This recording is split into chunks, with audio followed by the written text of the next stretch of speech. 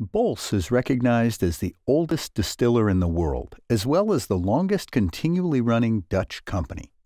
The Bols family opened the distillery just beyond the walls of Amsterdam in 1575.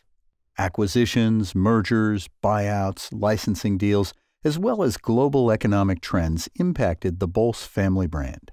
In 2006, Bols BV came under the management of Mr. Huub van Doorn, who would resurrect the brand and concentrate on the original libations that grew the company to the worldwide powerhouse that it is today.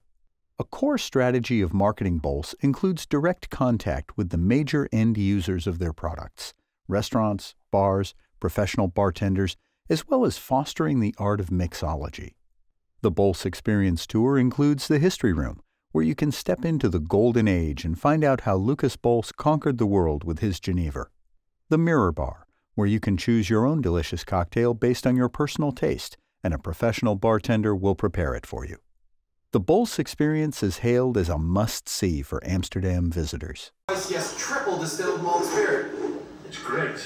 Fueling Amsterdam, fueling Dutch courage in cocktail bars, hotel bars, dive bars, and mini bars. Red light district, red light Negroni. That's yes. Too complex for tonic, perfect for cocktails, and a barrel aged for sipping. Almost world famous, back with a vengeance, Spirit of Amsterdam. Bols Genever, the original Spirit of Amsterdam. Just going to ask you what you use the passion fruit for. Yeah. For decoration, uh, of course, the martini, because there's passion fruit puree in there.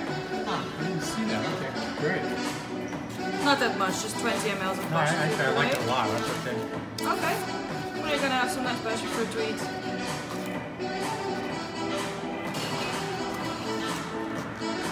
So it takes a little while, but You really It small looks- passion fruit. Is that because they're better for garnish? well, actually no. It's uh, how they come in. So sometimes they're really big,